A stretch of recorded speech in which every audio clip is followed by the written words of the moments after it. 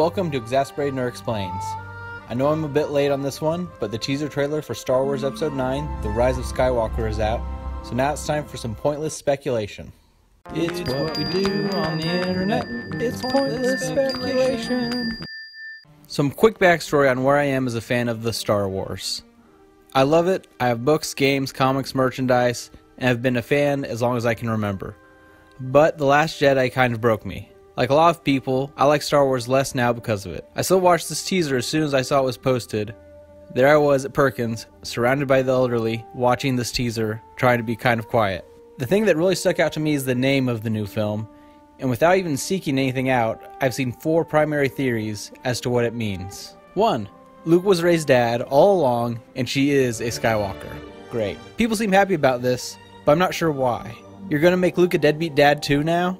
After everything you put the character through in the last film, you're gonna throw that in the mix and have a party? It does bring back the incesty angle from the original trilogy though, so, you know, nostalgia. 2. Kylo Ren is the Skywalker referenced. Even better, he was named Ben Solo, kills his dad, then turns back to the light side and takes his mom's maiden name instead. A name that she didn't even know existed until she was an adult. I guess he still wants to stick it to his old man, this time in a new way.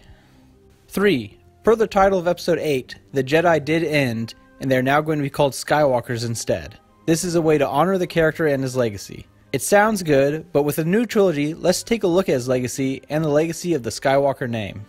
A Skywalker kills the Jedi and serves as right hand man to the Emperor's Spock rule. Luke Skywalker blows up Death Star, fails apparently to take down the Emperor, fails at starting a new Jedi school, and quits after turning his nephew Vader Jr., helping reignite a new galactic civil war that never really ended in the first place since the First Order's existence stretches back to the Empire.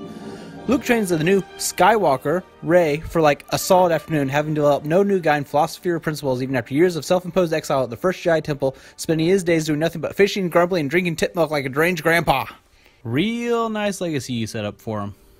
Or he just comes back to life, which is so very, very stupid, but is honestly probably the best option. Anyways, the trailer itself looks like there's a lot of action. Gang's all here. You got Rey, Finn, Nathan Drake. Emperor's back, I guess. Just chilling in the wreckage of the Death Star. I guess Endor broke his fall. Either way, J.J. Abrams is going to shuffle this desiccated corpse of a trilogy into theaters in December after Rian Johnson murdered it in front of us. I mean, I'm still going to see it. Thanks for watching. Like, comment, subscribe. Tell me how wrong I am. Whatever. Bye.